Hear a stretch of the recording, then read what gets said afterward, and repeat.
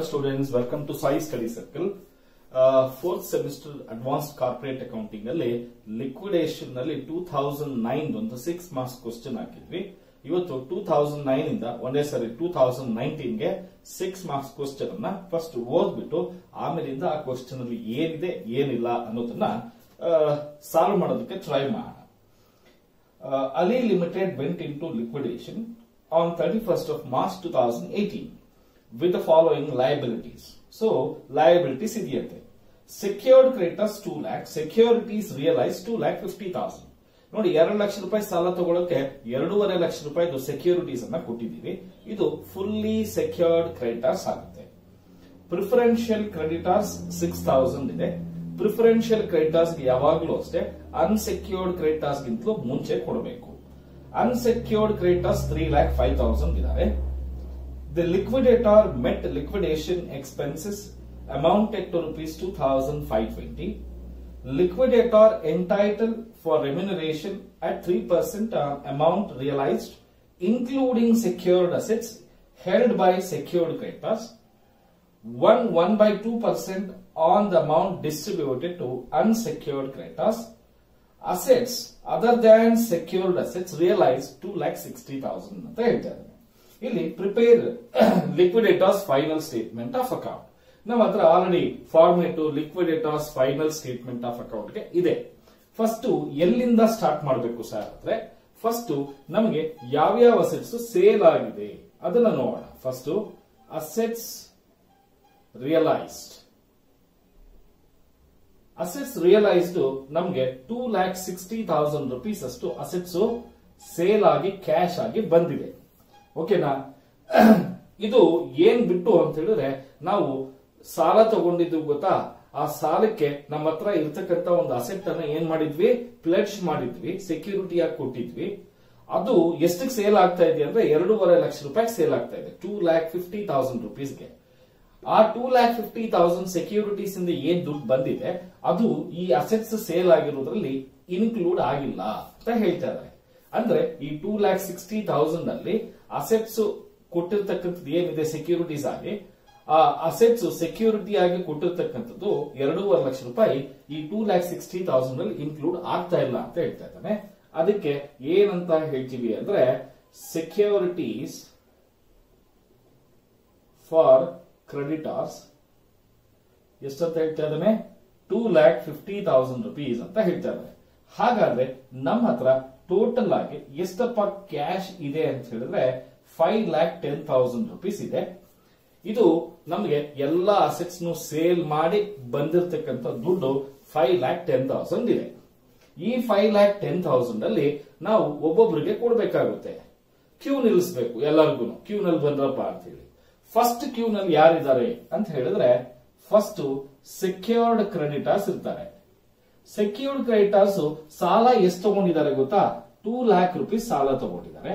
ಈ two lakh rupees ಸಾಲನ ನಾವು ಕೊಟ್ಟಿರ್ತಕ್ಕಂತ two lakh fifty thousand rupees ಅಸೆಟ್ಸ್ನ ಮಾರಿದ್ರೆ ನಾವು ಟೂ ಲ್ಯಾಕ್ಸ್ ಈಸಿಯಾಗಿ ಕೊಟ್ಬಿಡ್ಬೋದು.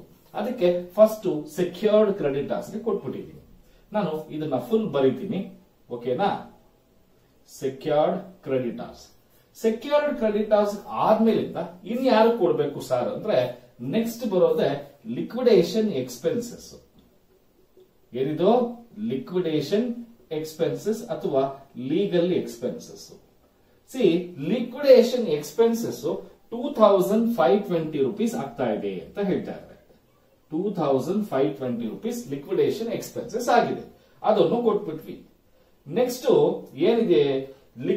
Liquidator entitled for remuneration three percent on amount realised including secured assets including secured assets ಅಂದ್ರೆ ಎಷ್ಟು ಅಸೆಟ್ಸ್ ಮಾರಿದ್ದಾರೆ ಲಿಕ್ವಿಡಿಟರ್ ಅಂದ್ರೆ ಟೂ ಲ್ಯಾಕ್ ಸಿಕ್ಸ್ಟಿ ಮಾರಿದ್ದಾರೆ. ಸೆಕ್ಯೂರಿಟೀಸ್ನ ಕೊಟ್ಟಿರ್ತಕ್ಕಂಥದ್ದನ್ನು ಮಾರಿದ್ದಾನೆ. ಅದು ಎರಡೂವರೆ ಲಕ್ಷ ಬಂದಿದೆ. ಒಟ್ಟು five lakh ten thousand rupees ಅಷ್ಟು ಅಸೆಟ್ಸ್ನ ಸೇಲ್ ಮಾಡಿಕೊಟ್ಟಿದ್ದಾನೆ. ಎಷ್ಟು ಅಸೆಟ್ಸ್ನ ಸೇಲ್ ಮಾಡಿ ಕೊಟ್ಟಿದ್ದಾರೆ, ಅದರ ಮೇಲೆ ತ್ರೀ ಪರ್ಸೆಂಟ್ ಅಂತ ಹೇಳ್ತಾ ಇದ್ದಾರೆ. ಸೊ ಹಾಗಾದ್ರೆ next liquidators remuneration liquidators remuneration ಮೊದಲನೇದು three percent on assets realised ಅಂತ ಹೇಳ್ತಾ ಇದ್ದಾನೆ. ಟೋಟಲ್ ಅಸೆಟ್ಸ್ ಫೈವ್ ಲ್ಯಾಕ್ ಟೆನ್ಗೆ ಸೇಲ್ ಆಗಿದೆ ಇನ್ಕ್ಲೂಡಿಂಗ್ ಸೆಕ್ಯೂರ್ಡ್ ಅಸೆಟ್ಸ್ ಅದರ ಮೇಲೆ ತ್ರೀ ಪರ್ಸೆಂಟ್ ಅಂತ ಹೇಳ್ತಾ ಇದ್ದಾರೆ. ತ್ರೀ ಪರ್ಸೆಂಟ್ ಅಂದ್ರೆ ಎಷ್ಟು ಬರುತ್ತೆ? ಅಂದ್ರೆ ಎರಡು ಸೊನ್ನೆಗಳು, ಮೂರು ಒಂದ್ಲ ಮೂರು, ಐದು ಮೂರ್ಲ ಹದಿನೈದು. ನೋಡಿ, ಹದಿನೈದು ಸಾವಿರದ ಮುನ್ನೂರು ರೂಪಾಯಿ ಅಷ್ಟು ಏನಾಗ್ತಾ ಇದೆ? ಲಿಕ್ವಿಡೇಟರ್ಗೆ ಅಸೆಟ್ಸ್ ಸೇಲ್ ಆಗಿರೋದ್ರ ಮೇಲೆ ಕಮಿಷನ್ ಕೊಡ್ತಾ ಇದ್ವಿ ಓಕೆನಾ ನೆಕ್ಸ್ಟ್ ಏನ್ ಹೇಳ್ತಾ ಇದ್ದಾನೆ? One one by two percent ಅಂದ್ರೆ one point five percent on amount distributed to unsecured creditors unsecured creditors ಎಷ್ಟು ಕೊಡ್ತೀರಾ? ಅದರ ಮೇಲೆ ಒಂದೂವರೆ ಪರ್ಸೆಂಟ್ ಅಷ್ಟು ಕಮಿಷನ್ ಕೊಡಿ ಅಂತ ಹೇಳ್ತಾ ಇದ್ದಾನೆ.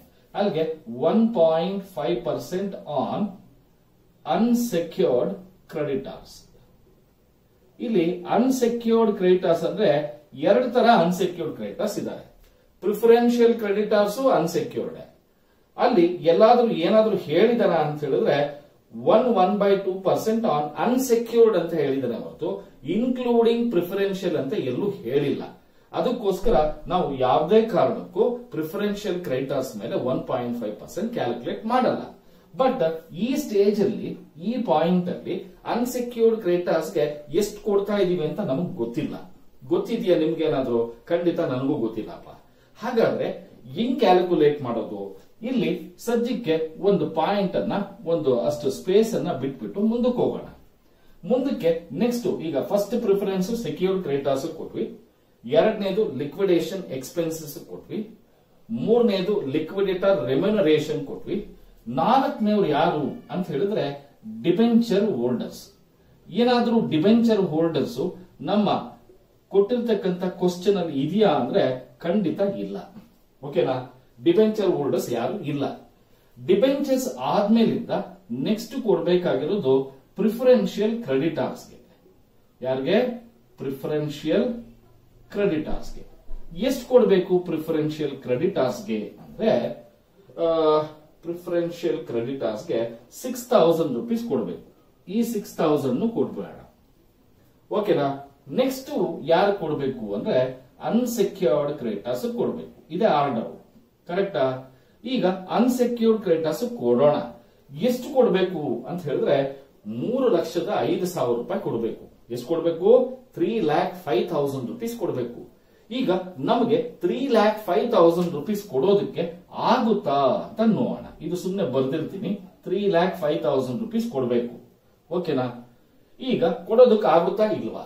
ಯಾಕೆ ಅಂದ್ರೆ ನಮ್ಮ ಹತ್ರ ಅಸೆಟ್ಸ್ ಮಾರದ ಮೇಲೆ ನಮ್ಮ ಹತ್ರ five lakh ten thousand rupees cash ಬಂದಿದೆ. ಬಂದಿದ್ಯಾ? ಎಸ್ ಬಂದಿದೆ. ಇದರಲ್ಲಿ ಏನೇನ್ ಪೇಮೆಂಟ್ಸ್ ಮಾಡಿದೀವಿ ಅಂದ್ರೆ ಎರಡು ಲಕ್ಷ ರೂಪಾಯಿ two lakh rupees secured creditors payment ಮಾಡಿದೀವಿ. ಓಕೆನಾ? ಹಾಗೆ liquidation ಎಕ್ಸ್ಪೆನ್ಸಸ್ಗೆ two thousand five twenty assets realise ಮಾಡೋದ್ರ ಮೇಲೆ ಲಿಕ್ವಿಡೇಟರ್ಗೆ remuneration fifteen thousand three hundred ಕೊಟ್ಟಿದ್ದೀವಿ. ಪ್ರಿಫರೆನ್ಷಿಯಲ್ ಕ್ರೆಡಿಟರ್ಸ್ ಸಿಕ್ಸ್ ತೌಸಂಡ್ ಕೊಟ್ಬಿಟ್ಟಿದ್ದೀವಿ. ಹಾಗಾದ್ರೆ ಟೋಟಲ್ ಒಂದು, ಎರಡು, ಮೂರು, ನಾಲ್ಕು, ಇಷ್ಟು ಟೋಟಲ್ ಮಾಡಿದ್ರೆ ಎಷ್ಟು ಬರುತ್ತಪ್ಪ ಅಂದ್ರೆ eight twenty six eleven thirteen one carries and two and two two lakh twenty three thousand eight twenty rupees ಅಷ್ಟು ಪೇಮೆಂಟ್ನ ಮಾಡಿಬಿಟ್ಟಿದ್ದೀವಿ ಹಾಗಾದ್ರೆ ಇನ್ ಕ್ಯಾಶ್ ಎಷ್ಟು ಉಳಿಯುತ್ತೆ ಗೊತ್ತಾ? ಇನ್ನ ಕ್ಯಾಶ್ ನಮ್ಮ ಹತ್ರ two lakh eighty six thousand one eighty rupees ಮಾತ್ರ ಉಳಿಯುತ್ತೆ. ಇದರಲ್ಲಿ ನಾವು ಅನ್ಸೆಕ್ಯೂರ್ಡ್ ಕ್ರೆಡಿಟರ್ಸ್ಗೂ ಕೊಡಬೇಕು. ಹಾಗೆ ಯಾರು ಕೊಡಬೇಕು? ಲಿಕ್ವಿಡೇಟರ್ಗೆ ರೆಮ್ಯುನರೇಷನ್ ಕೊಡಬೇಕು. ಎರಡೂ ಕೊಡಬೇಕು. ಹಾಗಾದ್ರೆ ಅನ್ಸೆಕ್ಯೂರ್ಡ್ ಕ್ರೆಡಿಟರ್ಸ್ಗೆ ಎಷ್ಟು ಕೊಡಬೇಕು? ಲಿಕ್ವಿಡೇಟರ್ಗೆ ಎಷ್ಟು ಕೊಡಬೇಕು? ಸಿ ಲಿಕ್ವಿಡೇಟರ್ ರೆಮ್ಯುನರೇಷನ್ ಒಂದೂವರೆ ಪರ್ಸೆಂಟ್ ಕೊಡಬೇಕು ಅಂತ ಹೇಳ್ತಾ ಇದ್ದಾನೆ. ಅನ್ಸೆಕ್ಯೂರ್ಡ್ ಕ್ರೆಡಿಟರ್ಸ್ಗೆ ಎಷ್ಟು ಕೊಡ್ತೀರಾ? ಅದರ ಮೇಲೆ ಒಂದೂವರೆ ಪರ್ಸೆಂಟ್ ಅಂತ ಹೇಳ್ತಾ ಇದ್ದಾನೆ. ಪರ್ಸೆಂಟ್ ಅಂದ್ರೆ ಏನು? ಹಂಡ್ರೆಡ್ ಅಂತ ಹೇಳಿ. ಹಾಗಾದ್ರೆ ಅನ್ಸೆಕ್ಯೂರ್ಡ್ ಕ್ರೆಡಿಟರ್ಸ್ಗೆ ಹಂಡ್ರೆಡ್ ರುಪೀಸ್ ಕೊಡಬೇಕು plus one point five percent commission ಕೊಡಬೇಕು. ಹಾಗಾದ್ರೆ ಇವೆರಡು ಸೇರಿಸಿದ್ರೆ ಎಷ್ಟಾಗುತ್ತೆ ಅಂದ್ರೆ one point one one hundred and one point five ಆಗುತ್ತೆ. ಹಾಗಾದ್ರೆ ಈ two lakh eighty six thousand one eighty rupees ಏನಿದೆ, ಅದು one nought one rupee fifty ಪೈಸೆಗಿರುತ್ತೆ ಹಾಗಾದ್ರೆ ನಮಗೆ one point five percent commission ಎಷ್ಟಾಗುತ್ತೆ ಅಂತ ಕ್ಯಾಲ್ಕುಲೇಟ್ ಮಾಡಬೇಕು. ಈಗ two lakh eighty six thousand two lakh eighty six thousand one eighty into one point five divided by one so ಇದು ಯಾವಾಗ ಮಾಡ್ಬೇಕು ಈ ತರ ಅಂತ ಹೇಳಿದ್ರೆ, ನಮ್ಗೆ ಕೊಡೋ ಅಮೌಂಟ್ ಕಡಿಮೆ ಇತ್ತು. ಕೊಡೋ ಅಮೌಂಟ್ ಜಾಸ್ತಿ ಇತ್ತು. ನಮ್ಮ ಹತ್ರ ಬ್ಯಾಲೆನ್ಸ್ ಉಳಿಯುವಂತ ಕ್ಯಾಶ್ ಕಡಿಮೆ ಇದ್ರೆ. ಅಂದ್ರೆ ನಾವು ಯಾರು ಕೊಡಬೇಕು? ಅನ್ಸೆಕ್ಯೂರ್ಡ್ ಕ್ರೆಡಿಟರ್ಸ್ ಕೊಡಬೇಕು. ಕರೆಕ್ಟ್ ಎಷ್ಟು ಕೊಡಬೇಕು? ತ್ರೀ ಲ್ಯಾಕ್ ಫೈವ್ ತೌಸಂಡ್ ಕೊಡಬೇಕು. ನಮ್ಮ ಹತ್ರ ದುಡ್ಡು ಎಷ್ಟಿದೆ? Two lakh eighty six thousand one eighty ಇದೆ. ಅವನೇನ್ ಹೇಳಿದಾನೆ ಅನ್ಸೆಕ್ಯೂರ್ಡ್ ಕ್ರೆಡಿಟರ್ಸ್ ಎಷ್ಟು ಕೊಡ್ತೀರಾ? ಅದರ ಮೇಲೆ ಒಂದೂವರೆ ಪರ್ಸೆಂಟ್ ಕಮಿಷನ್ ಕೊಡಿ ರೆಮ್ಯುನರೇಷನ್ ಕೊಡಿ ಅಂತ ಹೇಳ್ತಾ ಇದ್ದಾನೆ. ಹಾಗಾದ್ರೆ ಇವರು ಕೊಡೋದಕ್ಕೆ ಮೂರು ಲಕ್ಷ ಐದು ಸಾವಿರ ಗತಿ ಇಲ್ಲ ಇಲ್ಲಿ. ಇರೋದೇ ಕಡಿಮೆ. ಹಾಗಾದ್ರೆ ಇದರಲ್ಲಿ ರೆಮ್ಯುನರೇಷನ್ ಕೊಡಬೇಕು ಲಿಕ್ವಿಡ್ ಐ ಮೀನ್ ಅನ್ಸೆಕ್ಯೂರ್ಡ್ ಕ್ರೆಡಿಟರ್ಸ್ಗೂ ಕೊಡಬೇಕು. ಹಾಗಾದ್ರೆ ಈ ಅಮೌಂಟ್ ಏನು ಉಳಿದಿದೆ? ಅದು hundred plus one point five one nought one point five equal ಆಗಿರುತ್ತೆ ಒನ್ ಪಾಯಿಂಟ್ ಫೈವ್ ಏನೋ ಕಮಿಷನ್ಗೆ ಎಷ್ಟಾಗುತ್ತೆ ಅದನ್ನು ನೋಡೋಣ. Two eighty six one eighty divided by one nought one point five into one point five ಮಾಡಿದ್ರೆ ನಮಗೆ four thousand two thirty rupees ಬರ್ತಾ ಇದೆ. ಎಷ್ಟು ಬರ್ತಾ ಇದೆ? Four thousand two hundred and thirty rupees ಬರ್ತಾ ಇದೆ. ಹಾಗಾದ್ರೆ four thousand two hundred and thirty rupees ಹೋದ್ರೆ ಈಗ ತ್ರೀ ಲ್ಯಾಕ್ ಫೈವ್ ತೌಸಂಡ್ ಅಂತೂ ಖಂಡಿತ ಕೊಡಕ್ ಆಗಲ್ಲ ಯಾಕೆಂದ್ರೆ ಅಸೆಟ್ಸ್ ಎಲ್ಲ ಮಾರದ ಮೇಲೆ ನಮ್ಮ ಹತ್ರ ಇರ್ತಕ್ಕಂಥ ದುಡ್ಡು two lakh eighty six thousand one eighty ಹೌದಾ? ಈಗ ಈ two lakh eighty six thousand one ಏಯ್ಟಿನಲ್ಲಿ ಹೌದಾ? ಏನ್ ಕೊಟ್ಬಿಟ್ವಿ? ಕಮಿಷನ್ ಕೊಟ್ಬಿಟ್ವಿ. ಇನ್ ಎಷ್ಟು ಉಳ್ಕೊಡುತ್ತಪ್ಪ ಅಂದ್ರೆ ನಾನೇ ಹೇಳ್ತೀನಿ. ಓಕೆನಾ five eleven minus two is nine six five minus four is one and eight and two ಅಲ್ಲಿಗೆ two lakh eighty one thousand nine fifty rupees ಮಾತ್ರ ಕೊಡಬಹುದು ಹಾಗಾದ್ರೆ ಒಬ್ಬೊಬ್ಬರಿಗೆ ಎಷ್ಟು ಸಿಗುತ್ತೆ? Two lakh eighty one thousand nine fifty ದುಡ್ಡಿದೆ. ಆದ್ರೆ ಕೊಡಬೇಕಾಗಿರೋದು ಎಷ್ಟಪ್ಪ ಅಂದ್ರೆ three lakh five thousand rupees ಕೊಡಬೇಕು.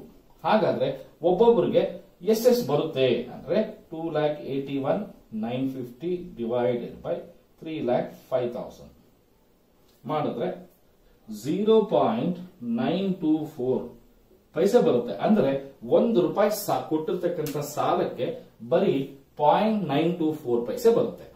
ಯಾರ್ಯಾರು ಒನ್ ರುಪಿ ಸಾಲ ಕೊಟ್ಟಿದ್ದಾರೆ ನಮಗೆ ಅನ್ಸೆಕ್ಯೂರ್ಡ್ ಕ್ರೆಡಿಟರ್ಸ್ ಅವರ ಒಂದು ರೂಪಾಯಿ ಪೋರ್ಷನ್ ಅಲ್ಲಿ ನಾವು ಕಂಪನಿಯವರು ಲಿಕ್ವಿಡೇಷನ್ ಆದಾಗ ಎಲ್ಲಾ ಅಸೆಟ್ಸ್ ಮಾರದ ಮೇಲೆ ಈ ಆರ್ಡರ್ ಅಲ್ಲಿ ಕೊಟ್ಟ ಮೇಲೆ ಎಷ್ಟು ಉಳಿತದೆ ಅನ್ಸೆಕ್ಯೂರ್ಡ್ ಕ್ರೆಡಿಟರ್ಸ್ ಎಷ್ಟು ಕೊಡಬಹುದು ಅಂದ್ರೆ two eighty one nine fifty ಕೊಡಬಹುದು ಇನ್ ರುಪೀಸ್ ಅಲ್ಲಾದ್ರೆ ಒಂದ್ ರೂಪಾಯಿ ಸಾಲ ಕೊಟ್ಟವನ್ಗೆ ಬರೀ ತೊಂಬತ್ತೆರಡೂವರೆ ಪೈಸೆ ಅಷ್ಟು ಕೊಡಬಹುದು ಅಷ್ಟು ಬಿಟ್ರೆ ಇನ್ನೇನು ಇಲ್ಲ. ಇನ್ಯಾರಿಗೂ ಕೊಡಕ್ ಆಗಲ್ಲ, ಯಾಕೆಂದ್ರೆ ದುಡ್ಡು ಇಲ್ಲ.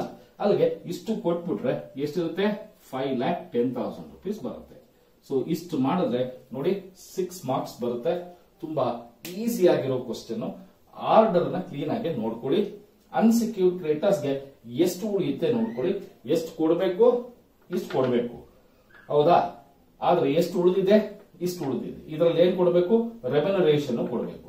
ರೆಮ್ಯುನರೇಷನ್ ಕೊಡಬೇಕು ಅಂದ್ರೆ ಈ amount two eighty six one eighty one nought one point five equal ಆಗಿರುತ್ತೆ ಒನ್ ಪಾಯಿಂಟ್ ಫೈವ್ ಎಷ್ಟಾಗುತ್ತೆ ಕೆಲವು ಪ್ರಾಬ್ಲಮ್ ಅಲ್ಲಿ ಟೂ ಪರ್ಸೆಂಟ್ ಅಂತ ಕೊಟ್ಟಾಗ two divided by one nought two ಆಗುತ್ತೆ. ಫೈವ್ ಪರ್ಸೆಂಟ್ ಕೊಟ್ಟಾಗ into five divided by one nought five ಆಗುತ್ತೆ. ಇದು ಯಾವಾಗ? ನಮ್ಮ ಹತ್ರ ಇರೋ ಕ್ಯಾಶ್ ಕಡಿಮೆ ಇರುತ್ತೆ. ನಾವು ಕೊಡೋ ಅಮೌಂಟ್ ಗಿಂತಲೂ. ಆವಾಗ ಮಾತ್ರನೇ ಈ ತರ ಮಾಡಬೇಕು. ಇನ್ನು ಜಾಸ್ತಿನೇ ಇತ್ತು ಅಂತ ಇಟ್ಕೊಳ್ಳಿ. ಖಂಡಿತ ನಾವು ಫುಲ್ ಅಮೌಂಟ್ ಮೇಲೆ, ಮೂರು ಲಕ್ಷ, ಐದು ಸಾವಿರದ ಮೇಲೂ ಕ್ಯಾಲ್ಕುಲೇಟ್ ಮಾಡ್ತಾ ಇದ್ವಿ. ಇವ್ರಿಗೆ ಅನ್ಸೆಕ್ಯೂರ್ಡ್ ಕ್ರೆಡಿಟರ್ಸ್ ಕೊಟ್ಟು ಇನ್ನು ಉಳಿದಿರೋದು ನೆಕ್ಸ್ಟ್ ಯಾರಿಗೆ? ಪ್ರಿಫರೆನ್ಸ್ ಶೇರ್ ಹೋಲ್ಡರ್ಸ್ ಕೊಡ್ತಾ ಇದ್ವಿ. ಇಲ್ಲಿ ಏನು ಇಲ್ಲ.